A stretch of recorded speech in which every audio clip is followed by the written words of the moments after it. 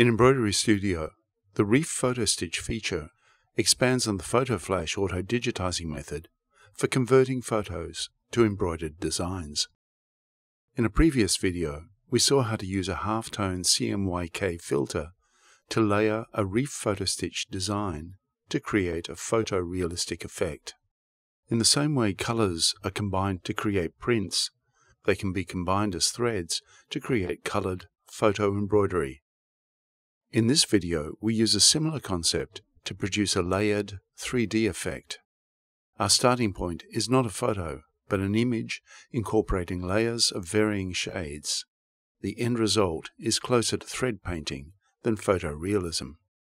This cherry blossom image provides an ideal starting point. Here we show how to transform it into embroidery using a combination of Reef Photo Stitch and standard digitizing. If you require further information about printing color separation using Corel Draw, make sure you visit the Corel Discovery Center for this and other advice about getting the most out of this powerful package. Match threads to artwork. We pick up the story where we've received the artwork from the graphic designer. It's been pre-sized for purpose. The graphic designer has also provided color separations as PNG bitmaps. Reef Photo Stitch works best with bitmap images, not vector files. First we insert the entire image for use as a digitizing backdrop. Select Add Bitmap Colors from the Graphics menu. The Prepare Bitmap Colors dialog opens by default. Reduce colors to the minimum necessary. Selected colors are displayed in the Add Bitmap Colors dialog.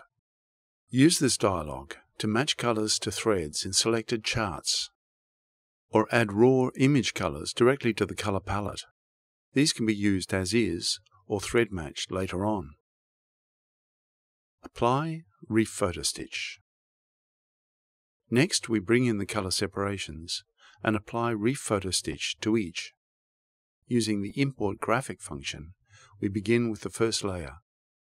Repeat the same operation for all other layers in the design. Hiding all other images in the design window, select the first layer and apply Reef Photo Stitch. You'll find it on the Auto Digitizing toolbar.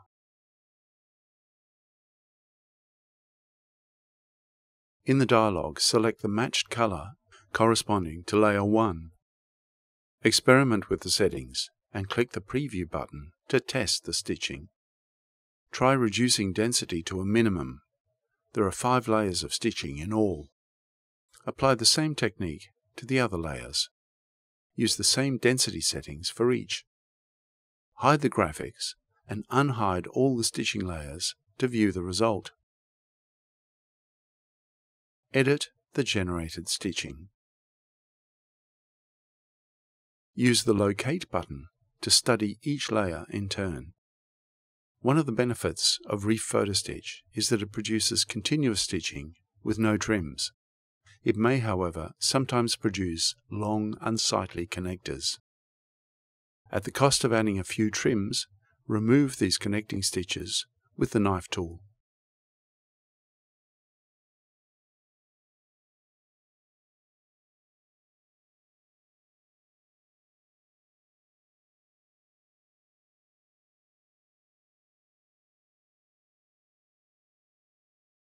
Finally, select all edited objects and reapply closest join with the tool or by pressing J.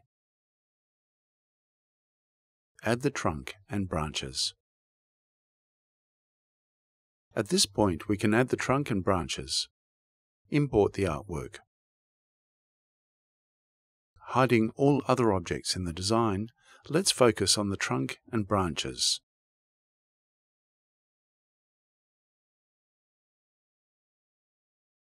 Using complex fill with regular tatami stitching, digitize the outline.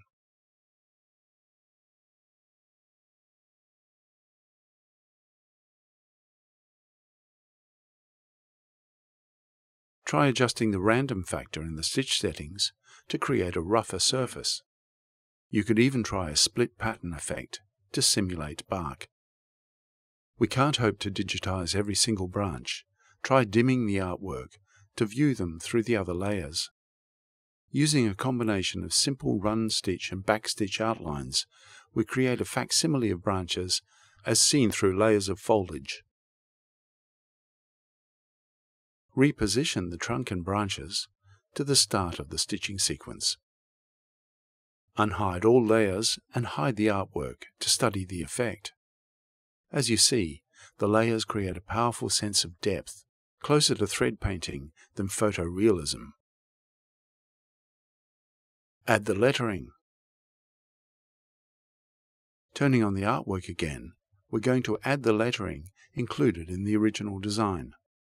First we add the Japanese lettering, a combination of kanji and hiragana characters, using the native Heisei Gothic embroidery font. Adjust to fit the allotted space as necessary.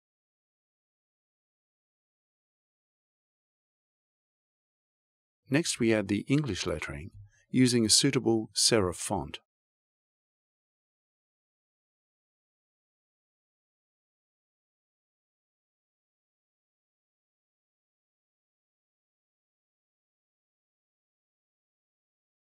Notice the artwork includes a light outline around the letters to make them stand out against the dark background.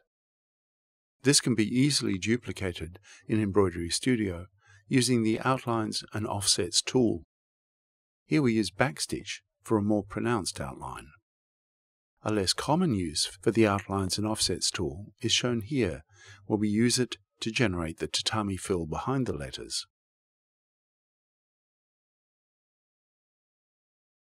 Adjust the stitching sequence and study the results.